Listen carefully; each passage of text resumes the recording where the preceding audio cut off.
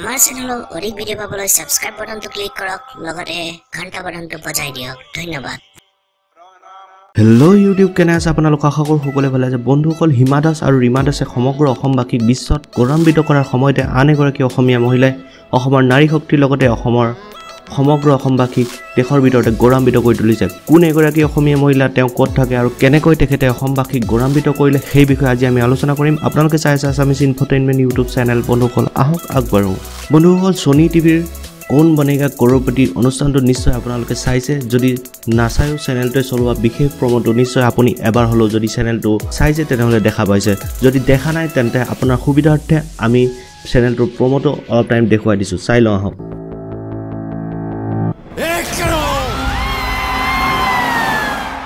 বহুত বহুত বধাই আপক up is সিজন কি পহলি কৰোড়পতি হে অমিতাভ বচ্চনৰ ডিঙিত থকা আমাৰ অসমীয়া প্ৰাণ গামোচাখন দেখিয়ে হয়তো বহুতে অনুমান কৰিব পাৰিছিল যে প্ৰতিযোগী মহিলাগৰাকী অসমৰ। হয় বন্ধুসকল মহিলাগৰাকী অসমৰ তেখেতৰ ঘৰ গুৱাহাটীত আৰু তেখেত দুটা সন্তানৰ মাতৃ। তেখেতৰ নাম হৈছে বিনীতা জৈন। উল্লেখযোগ্য এই যে বিনীতা জৈন হৈছে অসমৰ পৰা হোৱা কে বি চিৰ প্ৰথমগৰাকী কৰৌপতি লগতে দুহেজাৰ ওঠৰ চনৰ কে বি চিৰ ছিজনৰ প্ৰথমগৰাকী কৰৌপতি।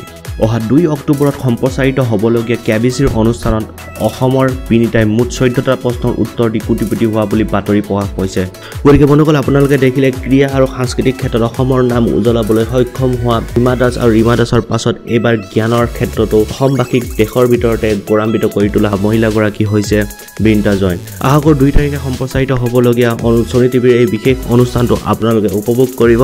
ইয়াৰ লগতে আমি আছামিছ ইনফৰটেইনমেণ্ট ইউটিউব চেনেলৰ পৰা বিনীতা জৈনে আমাৰ অসমবাসীক গৌৰৱান্বিত কৰাৰ বাবে অধিক অধিক শুভকামনা জ্ঞাপন কৰিলোঁ। বন্ধুসকল যদি আপোনালোকে ভাবে ভিডিঅ'টো শ্বেয়াৰৰ যোগ্য তেন্তে শ্বেয়াৰ কৰি আপোনাৰ বন্ধুবৰ্গৰ লগত শ্বেয়াৰ কৰি দিব।